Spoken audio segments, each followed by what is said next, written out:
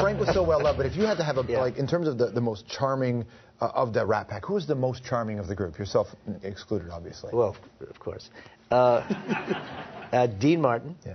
Well, you know, they all had their thing. It's kind of a tough one. You know, Sammy Davis had a very engaging style. Dean, of course, was quietly charming. But, you know, Frank was the gentleman, the great artist. And when he was a friend, he was a great friend. And he could just charm a whole room when he walked in. They, it, it's a pretty even keel beyond, between all of them. But he was the guy. I mean, this was a great artist. This guy knew exactly what he was doing creatively. He cared. He worked that image. And when he liked you, he was a gentleman and a good pal. And that's how I remember him.